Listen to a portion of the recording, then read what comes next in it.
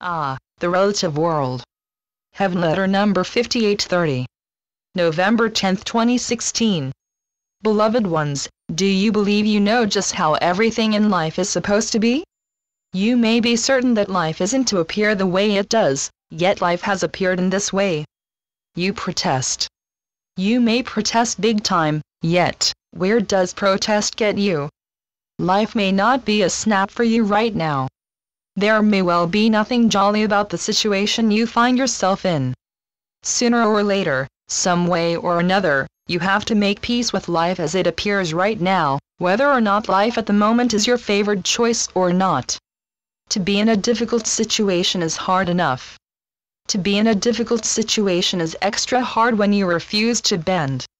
Make peace with life and the people in it. Let go of your attachment to your thoughts being correct, and life at fault. Fault is not the question. Fault doesn't make your heartache better. In fact, fault bolts you to where you are. Prove wrongdoing to the hilt, and, still, you are where you are. Let's get you unstuck. Once there was a story about a man who was in severe pain because of his right big toe. There was no lessening of the pain he experienced until, until he was wounded in his left knee as well then the sore toe wasn't so sore. This tale points out how it is that everything in the world is relative. In one sense, your summation of your situation, no matter what it may be, is your decision. Inevitably the way you meet a challenge is decidedly your decision. You are the one who weighs your situation. You decide how dire it is. The emphasis is yours. Consider looking at your life in a new way. Make a different estimation. Get grief out of the way. Make friends with life. Dear ones, you can't stay in dire emergency forever. You are the one who has the power to remodel and renew yourself. In terms of human self-determination, the move is yours. Remember this quality of self-determination that allows for movement and a new appraisal. Find value.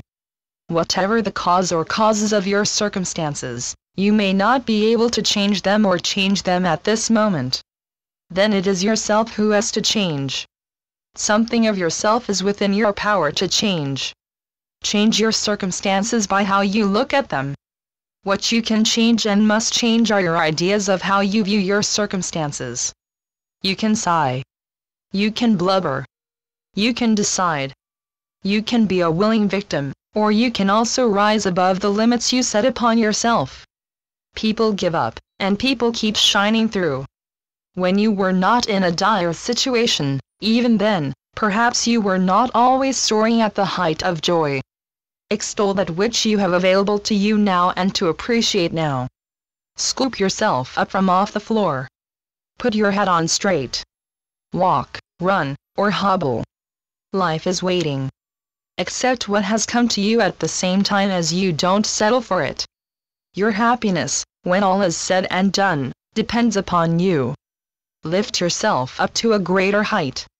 Be the life companion you want to be. Will you admit that, even from a bedside, you can foresee good fortune and reach out for it? Your life now is waiting for you to access and claim good fortune. Write a note to yourself in firm handwriting. Remind yourself of what you want instead of how dismal you have been feeling because of this or because of that. Take the steps to bring you closer to your true self.